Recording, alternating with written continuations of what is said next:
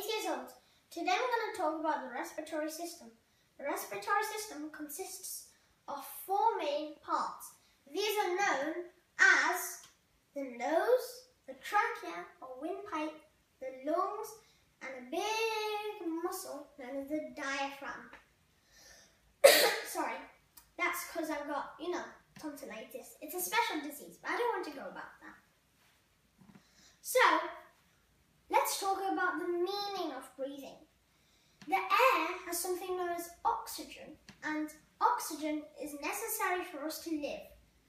Also, when the cells use up oxygen and energy, they produce a waste product known as carbon dioxide.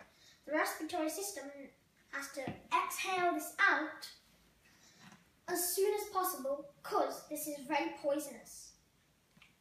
Now let's talk about how we breathe.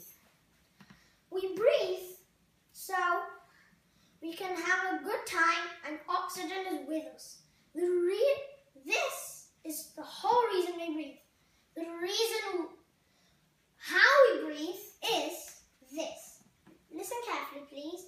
Now, what happens is, when you breathe in, what happens is, the all the what's in the air goes into the nose and down the trachea. Before I talk any further, there are special nose hairs which can trap germs and dust particles. There's a special thing secreted from the trachea and the nose, which is known as mucus. This is known as snot, and this is also known to trap and kill germs. This is the reason we sometimes sneeze. So now, sorry.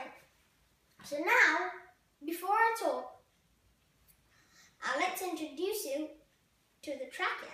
The trachea has is a long tube which has a mini closing known as the pharynx. The pharynx, what it does is, when you're eating, this prevents any food from going into the lungs. And when you breathe, it opens so you can breathe. It also opens when you need to talk.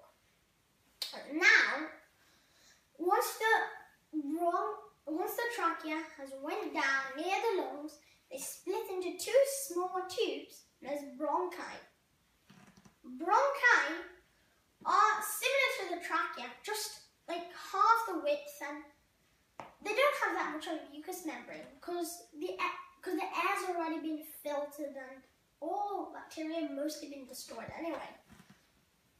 Now they're small in the lungs when we arrive at the lungs. They're even smaller tubes known as bronchioles.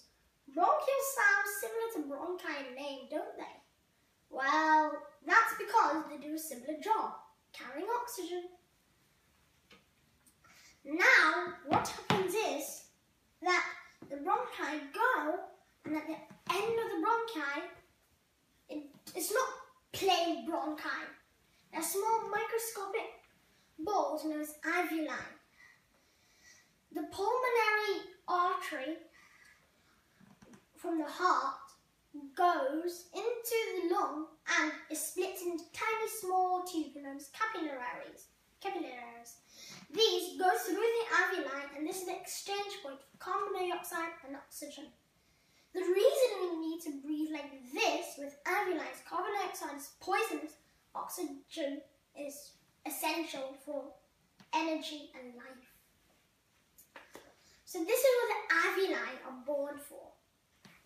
Now, once we are in the alveoli, what happens is that the oxygen gets stored in the ivory line, and then special, you know, very, you know, walls which are very absorbable, yeah. The oxygen goes through into the blood and it oxygenizes the cells, which carries the oxygen to the whole body. In the same time, the deoxygenized blood has to give away carbon dioxide through the same absorbable muscle layer. This is how we breathe in and out and filter our lungs and in again, out and in again. So this seems the end, but it's not actually, because the biggest muscle of the body is also used for breathing. This is known as the diaphragm. It seems like all muscles should be built straight, but the diaphragm is a curvy shape. So when you breathe, the diaphragm contracts, pulling its own weight down, letting the lungs, giving the lungs space to expand. This is why chest goes out and in. Otherwise, there'll be no use for the diaphragm and it'll be harder to breathe. Then, when you need to exhale, after all the filtering has been done, the diaphragm relaxes and slowly comes up. In the same way, it minimizes the space for the lungs, which in turn have to take all the air out, up the bronchioles, up the bronchi, up the trachea, out of the nose, and out of the body. So, this is how we usually breathe. Now, if you have any questions or comments, please ask us. Okay, so thanks for watching and if you have any questions then please ask them because next time we will answer them in another video.